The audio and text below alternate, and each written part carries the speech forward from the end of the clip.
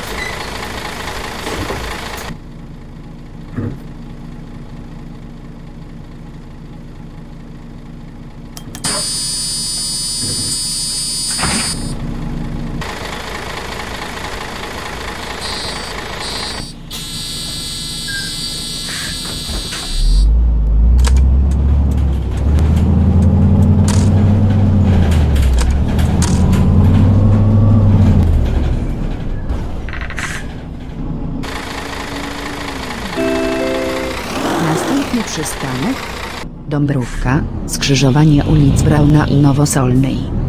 Przystanek tymczasowy.